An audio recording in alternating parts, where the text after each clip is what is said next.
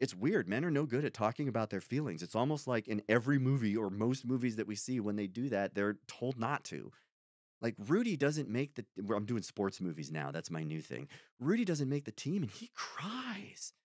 And I'm like, I don't know that I've seen a lot of men just weeping about not getting what they want. They're usually punching a locker and walking out upset, and that's a very different kind of performance.